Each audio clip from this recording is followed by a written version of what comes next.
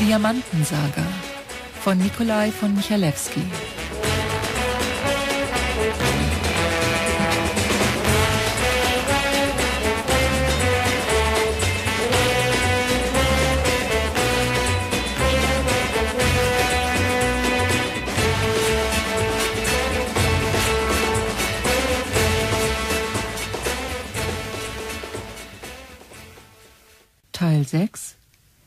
Der verrückte Kanadier Bis in den Zweiten Weltkrieg hinein galten die Fundstätten von Kimberley in Südafrika als das größte und ergiebigste Diamantenvorkommen der Welt. De Beers Consolidated Mines, die stärkste Gruppe in der Diamond Corporation, dem Interessenverband der Diamantenschürfer, beherrschte den Markt und diktierte die Preise. Aber schon im Jahre 1936 wagte ein junger Angestellter dieser Gesellschaft an der Dauerhaftigkeit ihrer Vormachtstellung zu zweifeln. John Williamson, Sohn eines kanadischen Holzfällers, studierter Geologe, entwickelte neue, eigenwillige Ideen und scheute sich nicht, sie seinem Chef vorzutragen. Worauf wollen Sie eigentlich hinaus, Williamson? Hören Sie auf, sich in Andeutungen zu ergehen und spucken Sie es aus. All right, Sir. Ich behaupte, dass wir hier in Kimberley nur unsere Zeit und unsere Arbeitskraft vergeuden. Hier in Kimberley? Williamson, Sie machen mir Spaß. Auf der Suche nach den Diamanten wühlen wir uns wie die Maulwürfe durch das Gelände. 50 Meter tief, 100 Meter tief, 200. Sir, ich frage Sie, warum holen wir uns die verdammten Steine nicht dort, wo sie an der Oberfläche herumliegen? Wo man sie nur, nur aufzusammeln braucht. Ach, so etwas gibt's? Es muss diese Stelle geben, Sir. Und ausgerechnet Sie als einziger Mensch auf dieser Welt wissen, wo diese Stelle zu suchen ist? Ja, ich glaube, ich weiß es wirklich, Sir. Sehen Sie, die großen Diamantenlager dieser Erde ziehen sich zu beiden Seiten des Äquators hin. Südamerika, Madagaskar, Australien, Indien, Ceylon, Borneo. Das sind die Fundstätten. Und Südafrika. Und damit, mein lieber Williamson, ist Ihre schöne Theorie bereits widerlegt. Nein, Sir, das ist sie nicht. Nach meiner Meinung ist unsere Mine hier nichts als eine Ausstrahlung. Sozusagen die verlängerte Ader eines Diamantenfeldes, das dicht am Äquator liegen muss. Ich habe die Sache genau berechnet und dabei bin ich darauf gekommen, dass das Ergebnis mit einer alten Überlieferung übereinstimmt. Sir, ich bin den Diamantenfeldern der Königin von Saba auf der Spur. Nun machen Sie mal einen Punkt, Williamson. Sir, Sie dürfen mir glauben. Die reichsten Diamantenvorkommen der Welt sind am Viktoriasee zu suchen, in Tanganyika. Ausgerechnet Tanganyika. Williamson, ist Ihnen eigentlich bekannt, dass unsere besten Leute in Tanganyika jahrelang nach Diamanten gesucht haben? Wir haben ein paar Millionen Pfund in das Unternehmen investiert. Und das Resultat? Nichts als Geröll und Kieselsteine. Von Diamanten keine Spur. Sir, ich gehe jede Wette Sie ein. vertrödeln nur mein und Ihre Zeit, Williamson. Schlagen Sie sich die Sache aus dem Kopf. Ihre Leistung lassen ohnehin zu wünschen übrig. In diesem Fall, Sir, bitte ich Sie um meine Entlassung. Williamson, wissen Sie überhaupt, was Sie da sagen? Vollkommen, Sir. Ich werde beweisen, dass ich recht habe. Das zweite Kapitel dieser Story entnehmen wir dem Tabora Monitor, einer inzwischen eingegangenen Zeitung, die damals in Tabora, gelegen an der Eisenbahnlinie von Dar es Salaam zum Tanganyika-See, herausgegeben wurde. Unter dem Datum vom 2. Juni 1936 veröffentlichte sie folgenden Bericht. Diamanten in Tanganyika. Der kanadische Geologe J. Williamson will mit einer Ein-Mann-Expedition beweisen, dass in der Umgebung des Viktoriasees reiche Diamantenlager vorhanden sind. Bei diesem Unternehmen, dessen Gelingen von namhaften Experten ernstlich bezweifelt wird, wird der auf den Spuren der Königin von Saba wandelnde Kanadier von einer hiesigen Bank finanziell unterstützt. Wie es heißt, soll sich Williamson anheischig gemacht haben, innerhalb eines halben Jahres den Beweis für seine Theorie zu liefern. Sieben Monate später veröffentlichte das gleiche Blatt einen zweiten Bericht über Williamson, diesmal überschrieben mit Was geschah mit Williamson? und weiter hieß es Der kanadische Abenteurer muss als verschollen betrachtet werden. Zuletzt wurde er vor einem Monat gesehen, als er mit seinem Wagen in die Sandwüste südlich des Viktoriasees vorstieß. Aber Williamson war nach Tabora zurückgekehrt. Schmutzig, unrasiert, krank. Sein erster Weg führte zur Bank. Robert G. Russell, der Direktor der Bank, empfing Williamson sofort. Was denn passiert? Williamson, wie sehen Sie denn aus? Das verdammte Fieber hat mich erwischt. Es war die Hölle da draußen. Sand, Sonne und dazu das Fieber. Ja, ich dachte schon, ich. Äh, naja, da bin ich nun wieder. Wenn Sie nicht mit leeren Händen kommen, Mr. Williamson, das ist ja gut. Wenn Sie an Diamanten denken, ich habe keinen einzigen. Sie wollen doch nicht sagen, dass alles umsonst war. Mr. Russell, ich bin mehr denn je davon überzeugt, dass meine Theorie richtig ist. Die ganze geologische Struktur des Landes deutet darauf hin, dass Diamanten vorhanden sein müssen. Viele Diamanten. Theorie. Auf die geologische Struktur pfeife ich, Mr. Williamson. Ich bin einzig und allein an Diamanten interessiert. Ich habe Ihnen 1000 Pfund gegeben. Ja, ja, ja, und Sie werden mir noch einmal 1000 Pfund geben müssen, Mr. Russell. Nicht ein Penny bekommen Sie mehr von mir. Ich weiß jetzt schon nicht, wie ich diesen Kredit vor unseren Aktionären verantworten soll. Es wird mich meine Stellung kosten, wenn es herauskommt, in was ich mich da eingelassen habe. Mr. Russell, Sie bekommen Ihr Geld ja zurück. Alles, was ich brauche, ist Geld und Zeit. Ich bin voreilig gewesen, zugegeben. Na ja, ich kannte das Land nicht, ich hatte keine Ahnung von den Schwierigkeiten dort. Ach, kann ich eine Zigarette haben?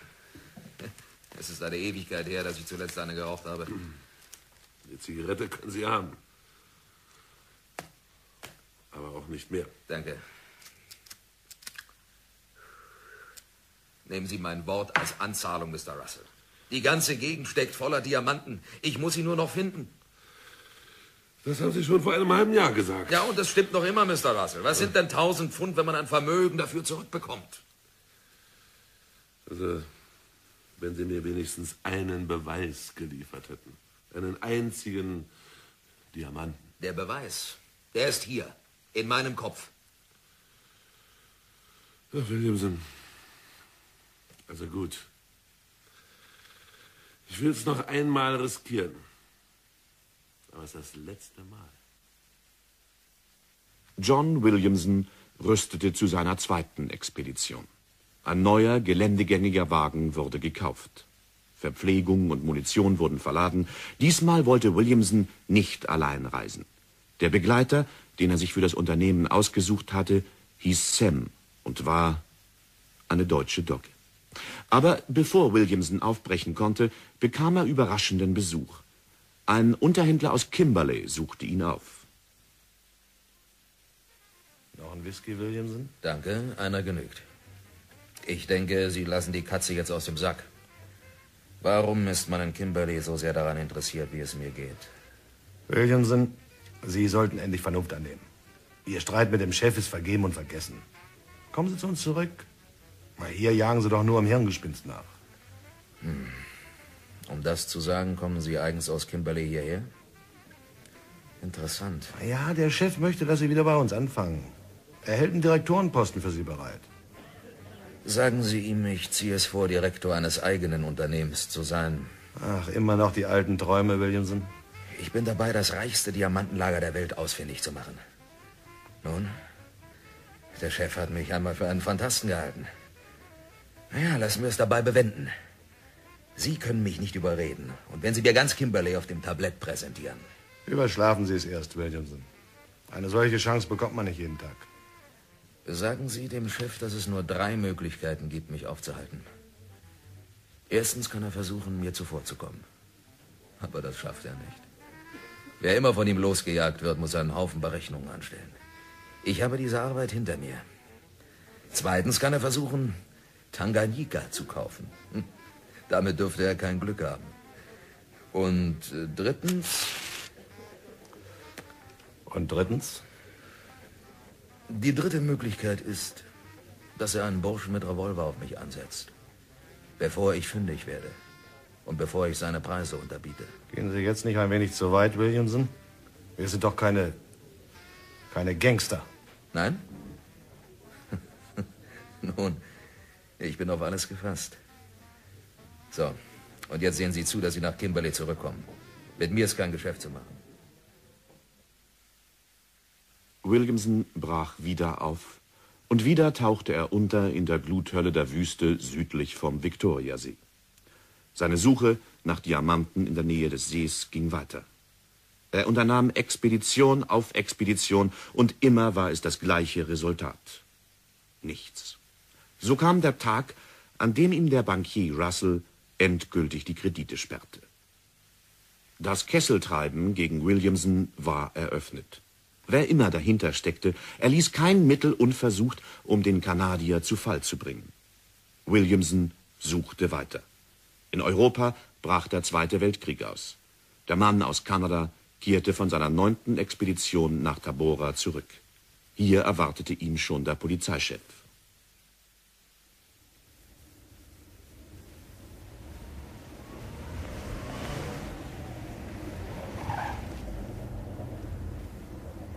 Augenblick mal, Williamson. Was gibt's, Sergeant? Nur eine kleine Formalität. Mir ist da so ein richterlicher Beschluss auf den Schreibtisch geflattert. Ich weiß gar nicht, wie ich Ihnen das sagen soll. Ja, nur immer raus damit. Ich glaube, mich überrascht bald gar nichts mehr. Na? Beschuldigt man mich des Diebstahls, der Trunkenheit, der Erregung öffentlichen Ärgernisses? Nun? Schlimmer, Williamson. Man will Sie auf Ihren Geisteszustand untersuchen lassen. auf meinen Geisteszustand? Ja, sagen Sie mal, soll das heißen, dass Sie mich für verrückt halten, Sergeant? Ich tue nur, was mir aufgetragen wird. Ja, und ich habe dafür zu sorgen, dass Sie sich einer psychiatrischen Untersuchung unterziehen. Man will mich also für verrückt erklären und in eine Zelle sperren. Hübsch ausgedacht. Davon kann doch gar nicht die Rede sein. Alles, was man von Ihnen erwartet, ist, äh, dass Sie sich untersuchen lassen. Ja, ja, ja, ja. Und zehn Minuten später stecke ich in der Zwangsjacke. Sergeant, ich spiele nicht mit. Sorry, Williamson. Aber ich habe meine Befehle. Wenn Sie nicht freiwillig erscheinen, muss ich Sie vorführen. Was ist denn schon groß dran an einer Untersuchung? wenn Sie gesund sind, haben Sie doch gar nichts zu befürchten. Na und wenn bei Ihnen wirklich was nicht stimmt, kann es doch nur in Ihrem Interesse sein, dass man Sie auskuriert. Seien Sie vernünftig, Williamson. All right, Sergeant. Ich werde mir die Sache durch den Kopf gehen lassen. Drei Tage später hieß es im Tabora Monitor, Gibt Williamson auf, der kanadische Geologe John Williamson, der seit über drei Jahren in der Umgebung des Victoriasees nach Diamanten sucht, hat Tabora mit unbekanntem Ziel verlassen. Es besteht Grund zur Annahme, dass er sich einer Untersuchung seines Geisteszustandes, wie vom Gericht verordnet, durch die Flucht zu entziehen versucht. Der Beschluss war ergangen, weil festgestellt werden soll, ob Williamson, der von einer hiesigen Bank einen höheren Kredit bezogen hat, bei Abschluss des Vertrages im Vollbesitz seiner geistigen Kräfte gewesen ist. Aber schon drei Wochen später war Williamson wieder in Tabora. Sein erster Weg führte zur Polizei. Der Verhandlung ausgesagt. Hallo, Sergeant. Das Hallo, Williamson, Sie? Ja, und nicht mit leeren Händen. Da, lesen Sie mal. Donnerwetter. Ein ärztliches Attest. Ausgestellt von einem Psychiater in Dar es Salaam. Hm. Der Mann ist eine Kapazität auf seinem Gebiet. Und er hat unseren Ärzten hier etwas voraus. Na? Er ist objektiv und unvoreingenommen. naja, die Untersuchung hat mich zwar etwas gekostet, aber dafür habe ich es jetzt schwarz auf weiß. John Williamson ist genauso wenig verrückt wie Mr. Russell oder ein gewisser Sergeant. Ja, lesen Ja, Sie. schicken Sie den Wisch ans Gericht. Und geben Sie bekannt, wer immer mir ans Leder will, er muss sich schon etwas Besseres einfallen lassen. So leicht bin ich nicht klein zu kriegen. Wiedersehen. Williamson hatte es nun schwarz auf weiß, dass er geistig gesund war. Das änderte nichts an dem Umstand, dass er für die Leute in Tabora und Umgebung der verrückte Kanadier war und blieb. Nun, er scherte sich nicht darum. Das Gerede interessierte ihn nicht, und auf eine gewisse Weise hatten die Leute ja recht. Krank, elend, abgerissen, wie Williamson war, machte er alles andere als den Eindruck eines normalen Menschen. Schlimmer als das Gerede war die Tatsache, dass er kein Geld mehr hatte und auch nicht mehr die Möglichkeit, neues Geld aufzutreiben, und das zu einer Zeit, da er mehr denn je davon überzeugt war, vor dem Erfolg zu stehen. Er besah sich seine Ausrüstung. Ein Teil davon war unentbehrlich. Der andere Teil aber, Äh, Womit kann ich dienen, Bwana? Hier, sieh dir mal dieses Gewehr an. Was ist es dir wert? Du willst verkaufen, Bwana? Ja, das Gewehr hier, ein Fernglas, ein Primuskocher, ein Mikroskop, ein Zelt und ein Schlafsack. Dazu dann noch ein paar Kleinigkeiten. Also mit dem Gewehr fangen wir an. Was bietest du? Für das Gewehr? Bwana, ich bin nur ein armer Neger. Äh, Zehn Pfund. Ach, du weißt genau, dass die Waffe 100 Pfund wert ist. Na, sieh sie dir an. Ja, sie ist kaum gebraucht. 50 Pfund und sie gehört dir. Ah, 20 Pfund, Wanner. 40. 30, Wanner. Ach, hol ich der Teufel dabei. Gut, ich nehme die 30. So, jetzt zum Fernglas. Ja, als es neu war, habe ich 30 Pfund dafür bezahlt. Ah, 5 Pfund, Wanner. 15. Als Williamson wieder aufbrach, besaß er nur noch das Notwendigste, aber dafür Proviant sowie Benzin und Öl für den Wagen. Doch auch diese Expedition endete mit einem Misserfolg. Als Williamson nach drei Monaten wieder in Tabora einfuhr, zweifelte er selbst an der Richtigkeit seiner Theorie. Nicht einen einzigen Diamanten hatte er gefunden. Er war bereit, aufzugeben. Doch nun geschah etwas, was seinen alten Glauben wiederherstellte. Der Unterhändler aus Kimberley war wieder da. Reiner Zufall, dass es mich hierher in diese Gegend verschlägt. Na, aber da ich nun mal hier bin, äh, freut mich, Sie wiederzusehen, Williamson. Ziemlich einseitig, diese Freude. Ach, immer noch der alte Dickkopf? Kommen Sie, ich lade Sie zum Whisky ein. Geben Sie sich keine Mühe. Am Whisky unter alten Freunden? Nicht einmal das.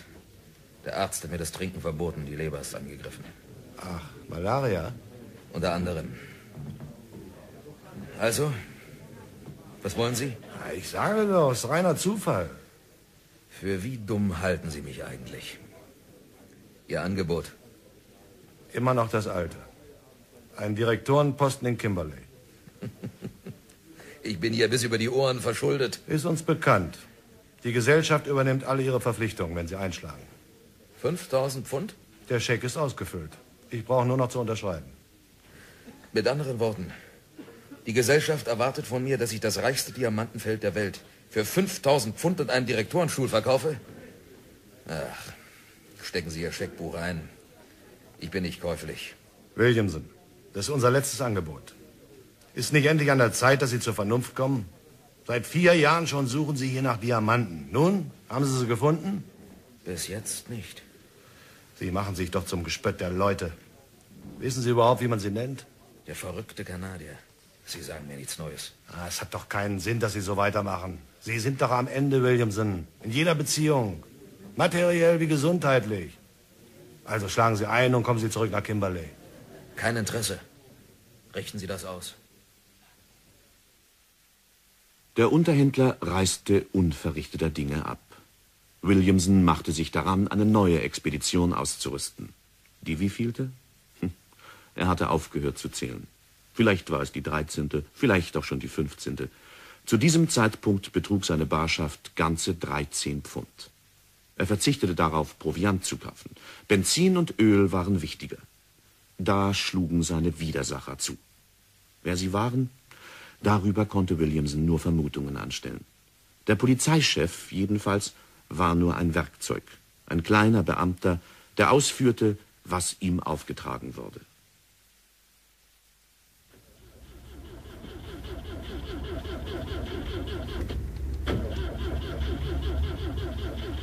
Schätze, daraus wird nichts, Williamson. Ach, Sie sind Sergeant. Steigen Sie aus, Williamson. Der Wagen ist vorläufig beschlagnahmt. Wie? Beschlagnahmt? Warum denn? Tja, zur Sicherstellung Ihrer Schulden. Mr. Russell hat einen Gerichtsbeschluss erwirkt. Hier. Überzeugen Sie sich von seiner Richtigkeit. Soll versteigert werden? So ist es. Aber das ist doch Wahnsinn. Der alte Schlitten, der bringt im Höchstfall 80 Pfund. Da haben Sie schon reichlich hochgegriffen. Ja, und was mache ich ohne Wagen? Tja, das ist Ihre Sache. Nun hören Sie mich mal an, Sergeant. Ich schulde Mr. Russell 5000 Pfund. Ich bin bereit, sie ihm mit einem Aufschlag von 100 Prozent zurückzuzahlen, sobald ich die Diamanten gefunden habe. Welches Interesse kann er daran haben, mir den Wagen zu pfänden? Das ist doch gegen jede Vernunft. Ich nehme an, Mr. Russell wird seine Gründe haben. Sonst hätte er diesen Gerichtsbeschluss ja nicht erwirkt.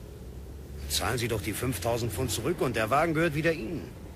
Alle Welt weiß, dass ich diese 5000 Pfund nicht habe. Sorry, Williamson. Ja, dann kommt der Wagen eben unter den Hammer. Steigen Sie aus und lassen Sie den Schlüssel stecken. John Williamson war geschlagen. Ohne seinen Wagen war er hilflos. Er versuchte, Mr. Russell umzustimmen, aber schon in der Halle wurde er von einem Clark abgefangen. Wohin, Mr. Williamson? Zu Mr. Russell. Melden Sie mich an. Sorry, Mr. Williamson. Ich habe strikte Anweisung, Sie nicht vorzulassen. Aber ich muss Mr. Russell sprechen. Es ist wichtig. Mr. Russell legt keinen Wert darauf, Sie wiederzusehen. Es sei denn, Sie bringen ihm die 5000 Pfund, die Sie der Bank schuldig sind. Bringen Sie sie? Nein. Dann ist es besser, Sie machen die Tür von draußen zu, Mr. Williamson. Sie sind hier unerwünscht. Damit hätte Williamsons Traum von dem reichsten Diamantenfeld der Welt zu Ende sein können, wenn er nicht der verrückte Kanadier gewesen wäre. Williamson griff zu einem verzweifelten Mittel. Und als er das tat, war er sich darüber im Klaren, dass er entweder mit einer Erfolgsmeldung zurückkehren durfte oder überhaupt nicht. Der Tabora Monitor vermerkte, Williamson wegen Autodiebstahl gesucht. Wie wir von der Polizei soeben erfahren, hat John Williamson besser bekannt als der verrückte Kanadier, einen im Hof des Polizeigebäudes abgestellten Wagen entwendet und ist damit in die Richtung des Viktoriasees geflohen. Das entwendete Fahrzeug stammt aus Williamsons eigenem Besitz. Vor drei Tagen wurde es gepfändet und sichergestellt. Der Diebstahl wurde in der Nacht begangen. Die Vermutung liegt nahe, dass Williamson den Wagen kurzgeschlossen hat. Die Vermutung stimmte. Williamson hatte den Wagen tatsächlich kurz geschlossen und nun war er damit wieder unterwegs zum Wüstendistrikt südlich vom Viktoriasee. Diesmal wollte er die Entscheidung herbeizwingen auf Biegen oder Brechen. Entweder er fand die Diamanten oder er kam in der Wüste um. Eine andere Möglichkeit gab es nicht. Für Williamson stand es fest, dass er nicht ins Gefängnis gehen würde. In der Wüste überraschte ihn die Regenzeit. Eines Tages kippte Williamson um. Schwarzwasserfieber. Die jahrelang verschleppte Malaria präsentierte ihre Rechnung. Es war ein Wunder, dass er die Krise überstand. Als er aus der Bewusstlosigkeit aufwachte, war er längst noch nicht außer Gefahr. Er war krank und schwach und bis auf die Knochen nass. Sein Proviant war aufgebraucht und er besaß nicht einmal ein Gewehr, um sich mit Fleisch zu versorgen.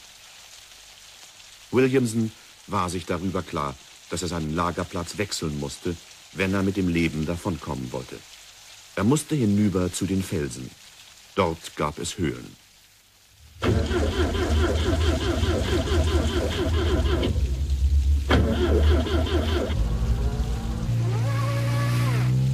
Der Wagen saß fest. Er rührte sich nicht von der Stelle. Je öfter es Williamson versuchte, desto tiefer wühlten sich die Räder in den aufgeweichten Boden. Schließlich gab er es auf. Er stieg aus und besah sich die Bescherung. Verdammte Schweinerei. Bis an die Achsen saß der Wagen im Dreck. Da konnte nur noch der Spaten helfen. Williamson verschnaufte, dann machte er sich ans Werk.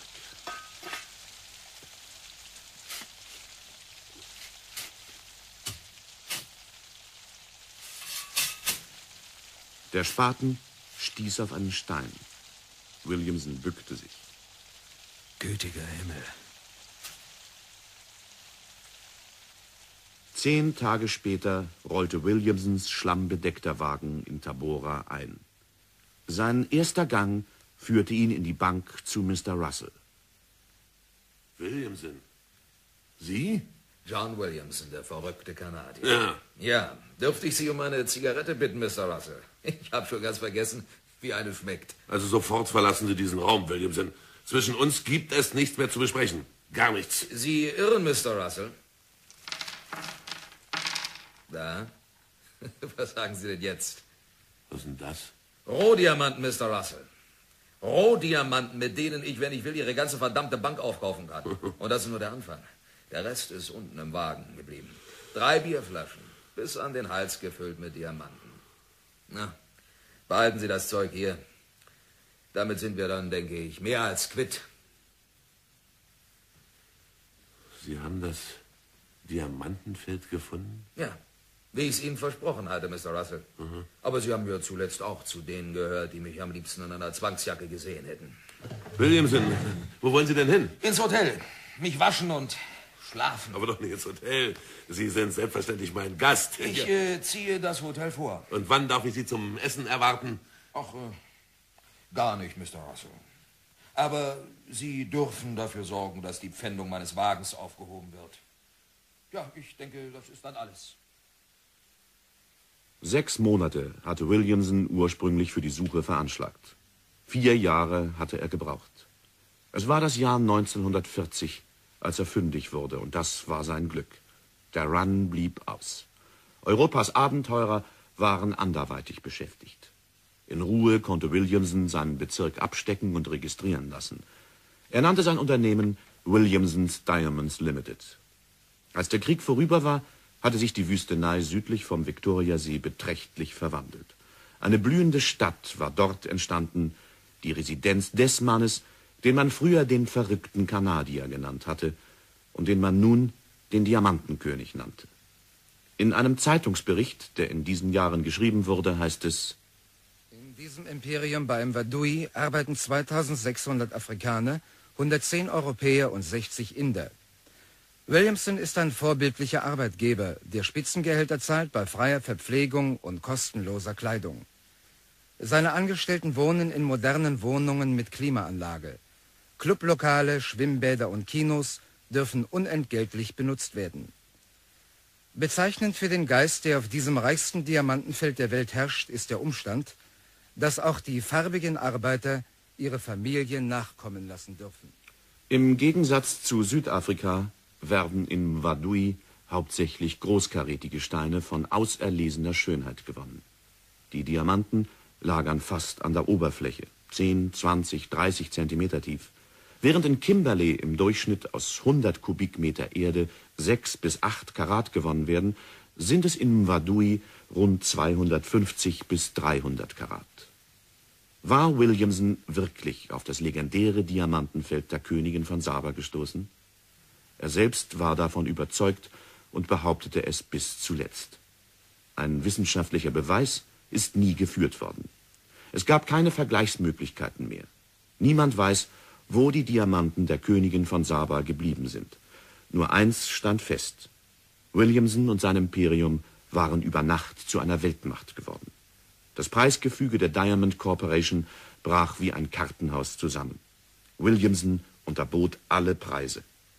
Wieder machte sich von Kimberley ein Unterhändler auf den Weg. Nun, wollen Sie mir wieder einen Direktionsposten in Kimberley anbieten? Sir, ich bin hier, um Ihnen ein Angebot zu unterbreiten. Na, kommen Sie schon zur Sache. Ich soll Ihnen vorschlagen, Mitglied des Syndikats zu werden und sich unserem Preisgefüge anzupassen. Abgelehnt. In diesem Fall bin ich befugt, Ihnen das ganze Gelände hier für zwei Millionen Pfund abzukaufen. Abgelehnt. 20 Millionen. Abgelehnt. Sie vergeuden nur Ihre Zeit. Hier bin ich und hier bleibe ich. Und was die Preise angeht, ich verkaufe zu meinen Preisen. Sir, Sie lassen sich in einen harten Kampf ein. Kein Kampf kann so hart sein wie der, der hinter mir liegt. Richten Sie das Ihren Auftraggebern aus. Der verrückte Kanadier fürchtet sich nicht. John Williamson, Sohn eines kanadischen Holzfällers, gewann auch diese Auseinandersetzung. Als er am 7. Januar 1958 starb, hinterließ er der Welt ein Industrieimperium, das ohne Beispiel ist.